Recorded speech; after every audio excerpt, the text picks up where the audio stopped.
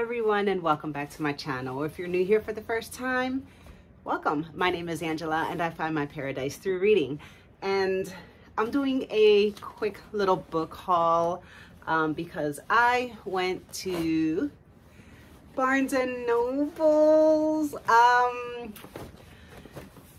it's just been like such a wonderful weekend. Um, I went to like a minor league uh, baseball game. I went and I saw a children's football game. I went out to lunch um, to, was it Plaza Azteca and had some amazing food. And next to the Plaza Azteca was Barnes and Noble. And there were a couple books on my list that I wanted to get.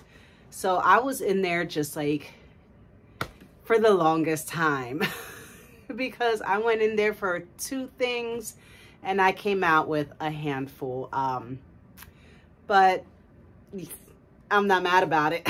I'm just not. Um, but it was, oh, I just had just the wonder, the most wonderful time there. Um, but I am very pleased because I have their, um, their premium, I guess, membership at Barnes & Noble. So I got a new bag. I get a new one every year. So this one is like orange and it's a different style than I got um, the last time. It's just, oh, I love this orange color of bag of books. It's very, very sturdy. Has a Barnes & Noble on the side. So I just love this one. I like my other one too, but I just love it. It's got an inside pocket and stuff. Um, very well made bags. It's got one, two, it's got two pockets inside. Um, and I think these cost, you can buy them. They're like $18, I think, if you want to buy the bag. But if you have a premium membership, you get a free bag every year. So that's awesome. And so I have my books in here.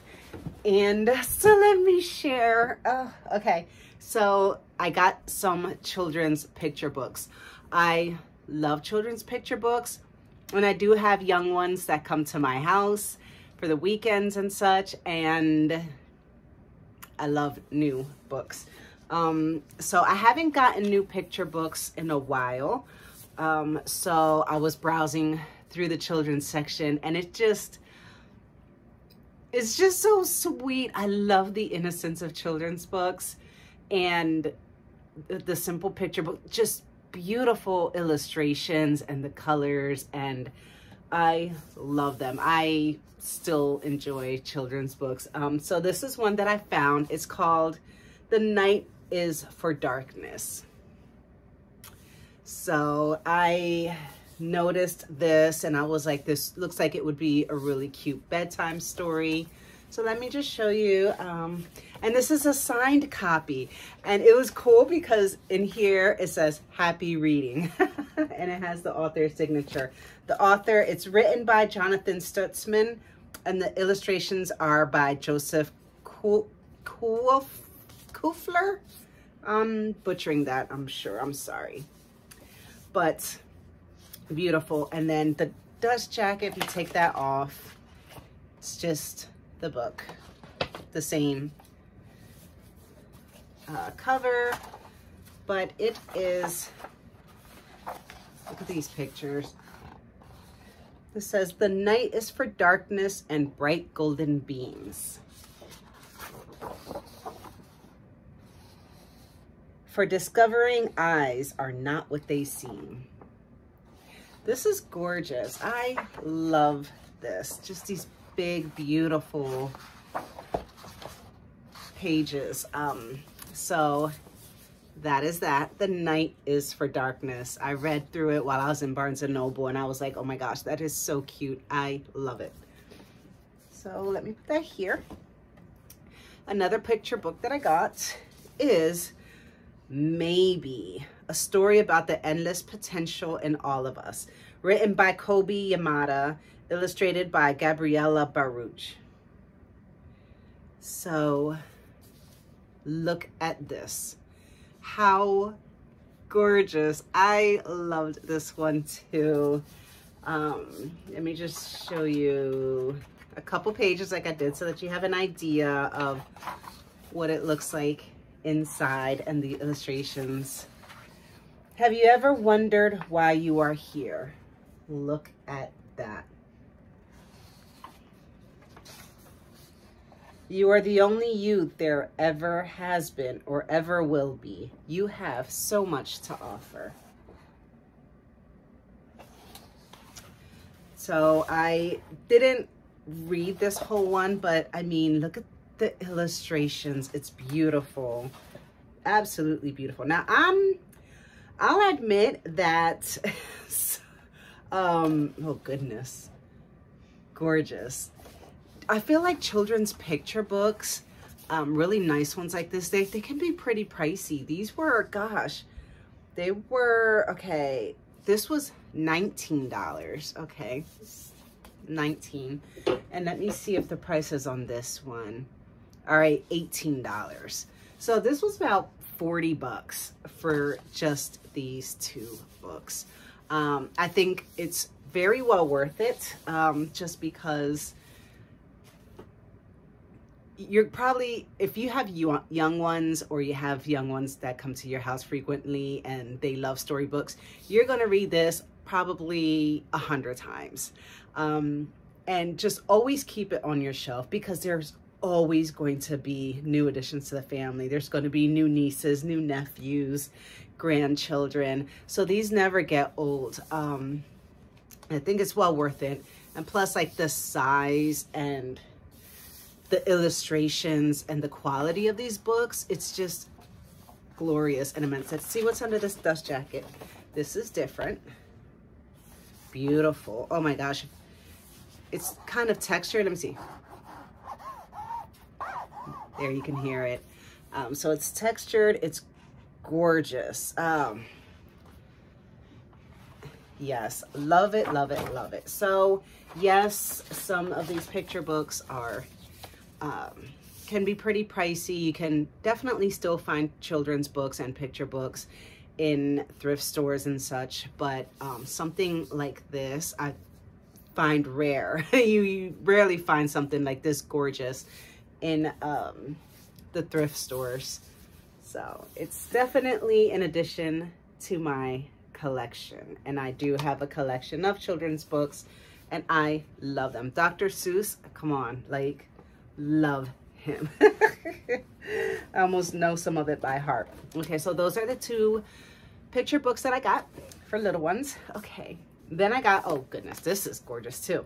Um, The Lost Spells um, by Robert Macfarlane, Jackie Morris. And I was in the poetry section and I saw this and I was kind of flipping through it and oh, how beautiful this book is. Look at this. So many gorgeous illustrations. Um, and like short poems. Uh, the Pretty much this is probably all poems surrounding nature. Um, this says, over rushes, across marshes, owl hushes, Will you listen with owl ears for a while? Let the wild world's whispers call you in. And these are just all just very gorgeous, gorgeous. Oh my goodness. So look at the end papers. And let me see what's, if there's anything interesting under this dust jacket. Oh my goodness, this is a gorgeous book. I'm telling you. Can you see this? It's like there. It's textured butterfly and look at the gold. We're, oh my goodness. And this is cloth. So this is like cloth. Oh my goodness. This is a beautiful, beautiful book.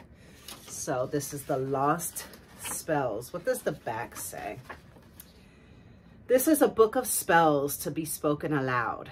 Here you will find conjurings and charms, spells that protect and spells that protest, tongue twisters, blessings, lullabies, and psalms. Beautiful.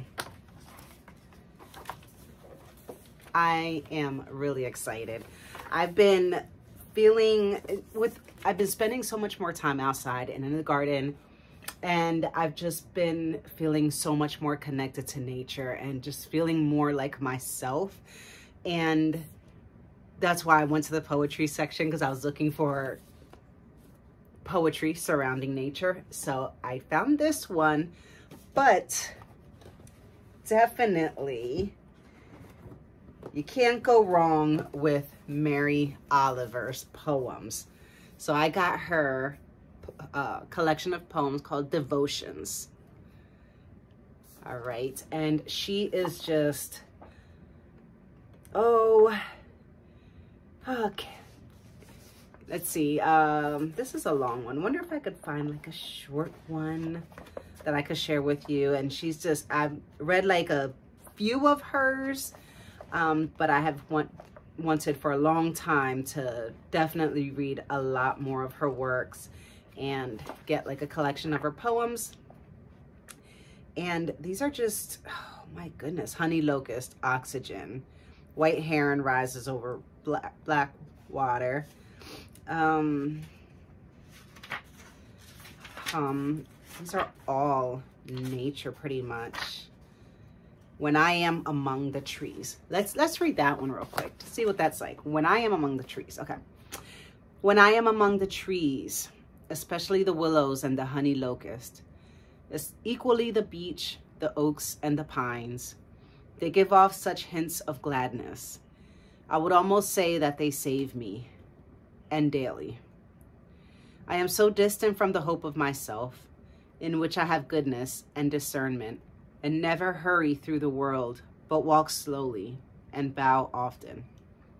Around me the trees stir in their leaves, and call out, Stay a while.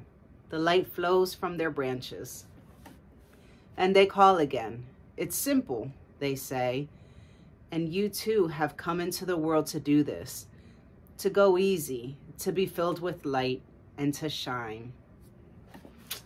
Gorgeous. So this is Mary Oliver's Devotions, her collection of poems, and I am just so excited. I am going to be probably reading like one or two poems a day. I just, oh, I'm excited about it. Okay, what else do I got here? Okay. I got Under the Whispering Door by TJ Klune. And, oh, I'm not going to lie, today, just today, I finished listening to the audiobook. I read uh, or I listened to In the Lives of Puppets by TJ Klune and it just blew me out of the water and I was like what's next? I want to I want to a little bit more of TJ Klune and see what else he has to offer. And so I got this book Under the Whispering Door. It was available on Libby. I listened to it um, and it was good. Not as good as in the lives of puppets. In the lives of puppets is like up here. Like i'm still thinking about that book and i i honestly think i'm gonna listen to it again this year like very soon because it was phenomenal. This book also this has humor. Um so it really starts off pretty funny which was awesome. Um but this is very serious. Um, there is definitely a lot of humor in here, but a lot of seriousness because this deals a lot with death. Um, so trigger warning, a lot, a lot about death, the afterlife, where do we go from here? What's the purpose of life? Um, it touches on suicide. Um, and so some people may not be able to, to read this well. Um, so I'm not going to go into um, the details of this book, um, but I'll go into it in my end, end of the month wrap up. But basically, this is about a guy who passes away and he is in the midst of this journey. Like he, there's like a guide that takes his spirit and takes him to this tea shop and there is kind of a ferryman Okay, so the the person that grabbed him after he died was the Reaper, and she took him to this ferryman who has this tea shop, and this ferryman helps him come to terms with his death and helps him, you know, just go through his acceptance, his phases of grief, you know, and that's like the bargaining, the denial, uh, all of those phases of grief, and then helps him to go on to his next step is to like cross into the afterlife or the next phase in his journey, the next step. He has to go through a door. Um, but just kind of preparing him and making sure he's ready to open the door and walk through. Um, so there's a lot of like very serious conversations and um, I don't know. It's it, it was good. It was I really really really enjoyed it and I definitely wanted a hard copy of this book. It's gorgeous. It looks very similar in style to In the Lives of Puppets. The next one I'm going to read is The House in the Cerulean Sea. It's the same author, but look, you can see the books. In the Lives of Puppets. So these books are to look gorgeous together on my shelf. So there's that one. What else we got? We got two more. Now, we got The Way of the House Husband, Volume 11. Volume 11 was not available in English um, the last time I was, the last time I checked. Um, so I was really surprised that I saw Volume 11 had been released in English. So, boom, I am going to read the 11th volume of The Way of the House Husband, this funny, funny manga uh, that I've been following for some time. And I've been missing Tatsu. Um, after I finished like volume 10, I was like, wow, that's it for who knows how long. And here's 11. From what I understand, it goes up to volume 12. And 12 is not available in English yet. But I don't know. Maybe they'll just continue continue on um, beyond volume 12. Who knows? So there's that. And then my last book is another manga. This is the omnibus version of One Piece volumes one, two, and three. Oh my goodness. Okay, so I, um, I don't know. I'm excited about this. I'm, um, excited yet nervous because I know One Piece is a massive manga. Like, and then everyone keeps saying, oh, as soon as you read this, you're going to get so addicted to it and you're just going to keep, keep wanting to, you're going to want to keep going and going and going and you're just going to go One Piece crazy. I don't know. I don't know. Um, I've seen a couple, uh, episodes, I guess, of the anime.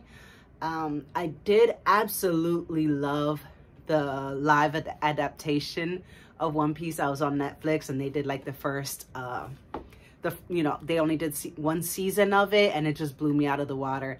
Had such a freaking amazing time with it. And like binge watched it the following week, like all episodes all over again because it was so fun and it was so cool. Um, so yeah, I figured, let me see. Let me see if I will enjoy this manga as much as I enjoyed the first season of the uh, live adaptation of One Piece. And I would like to watch the anime, but again, it, it's so daunting because there's like a hundred million episodes and seasons. I don't know. It just seems to, to be so much. Right now, I'm watching Naruto. I am loving it. I am in season five of Naruto. Um, and I'm enjoying that. But I don't know. I don't know. I'm a little nervous. Ah, there's Luffy. But hopefully I'll get to this soon. Maybe June, July. We'll see. I think that was it. That was it. Oh my gosh, I almost knocked over my Tiffany lamp. That is it. Okay, so thank you so much for joining me and for watching and seeing my latest little book haul. And I'm not gonna lie, this was an expensive trip to Barnes and Noble. I try to stay out of there. Honestly, I do. I do. I try to stay out of there um, because I know how expensive it can get. Um, and I like to usually order from Amazon, used books when I can, thrift books. And in eight days, in eight days is the local county library's annual book sale, which I already have a vacation day planned for it. It's happening. I have a wagon. I'm all in. Like, serious stuff is about to go down. All right. So I've been like trying to hold back on like buying books because I know I'm to like probably get a smack ton at this library sale. Um, but I don't know. I think it was just like a beautiful weekend. I was having so much fun just being out and about and doing things. And I was like, oh, and I have this Barnes & Noble membership. Like, obviously I have to use it to make it worth the money, right? Duh. and I did have some free like Barnes & Noble bucks that I had accumulated. So I applied them to, to these books and I got my free tote. I mean, so it was a good day. I don't care. I think it was just a very special, special treat. And it was just the experience, I think, because I was just like wandering around and looking at loads and loads and loads of books. And I was so relaxed and I was on my Vespa, you know, so I was like all over town on my Vespa, just going everywhere. And it was just a blast. It was such a blast. And I didn't feel rushed, you know. Um, so I had nothing else to do that day. So I really took my time in Barnes & Noble and it was fun. It was just an amazing, amazing time. And I'm so happy. No regrets. There just never, no, never regrets. Um, but yeah, so Way of the House Husband, Mary Oliver poems, Under the Whispering Door, oops, One Piece, oh, Mary Oliver, I'm so sorry. And then The Lost Spells, beautiful. This one was kind of pricey, I think. I want to say it was like 28 bucks or something like that. $26. But again, beautiful quality. Like I said, it's like cloth. It's like embossed designs, the gold foil, the illustrations. It's a beautiful, beautiful book. I think definitely worth the money um, because you know a lot of time, a lot of effort and care was made into designing this. So I am totally fine with spending that kind of money, especially in the same goes for the children's books. They can be so beautiful and so colorful and well illustrated. I mean, I'm totally supporting these authors and illustrators. Um, it's just such a treasure and so pleasant. So again, thank you so much for joining me and leave your comments, like, subscribe, and keep in touch. We'll talk to you soon. Happy reading. Bye.